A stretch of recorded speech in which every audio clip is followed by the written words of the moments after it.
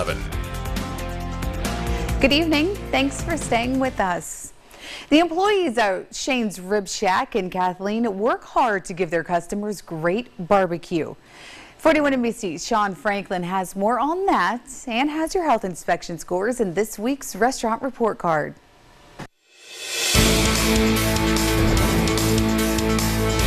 Well, you know Shane is number one here at Shane's Rib Shack in Kathleen. This is a great place to get some barbecue, and you know that barbecue is very important here in the South. Plus, they have a perfect health inspection. I'm Sean Franklin, and this is Restaurant Report Card.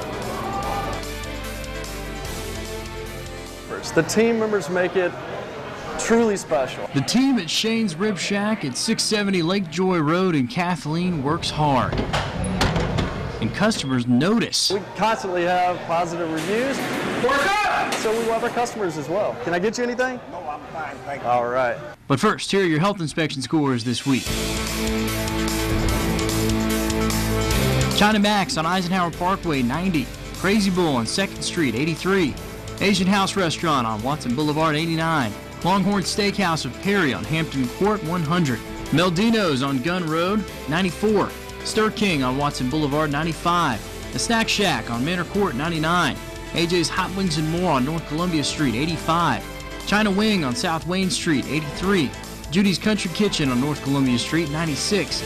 Shrimp Boat on South Elbert Street, 96. Good scores this week. Barbecue has to be done a certain way. Low and slow, man. Lower the temp, slower the cook time. That's that's going to be where it's at. When you're at Shane's Rib Shack, that's how the ribs get their taste. Tell you what, obviously the ribs, the ribs are special, man. They are incredible. Owner Steve Lacey wouldn't mislead you with crazy suggestions. This may sound a little strange. I know we're a barbecue restaurant, but the chicken fingers are amazing. The chicken fingers are, in my opinion, the best in town. So Fortunately, you can get a plate of both, and that's the move. All right, folks, as if I could not get any hungrier, I've got the two meat plate here. We got the ribs plus the chicken tenders. They tossed the tenders in some mild sauce for me. Gonna be fantastic. However, this is Shane's Rib Shack, so I'm going to take a bite of one of the ribs here. And man, you really can't get much better than that, right? Let's take a bite. Mmm, that's good. The perfect health inspection shows how hard Shane's works.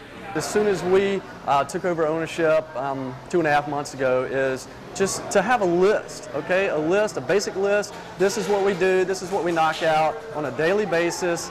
X, Y, Z. Let's do it. The first thing before we open the doors, let's just do it. It's, it's just leaves it out of question. I mean, you don't have to worry about it. If the health department comes in, we're good. Shane's Rib Shack is good at making the grade this week.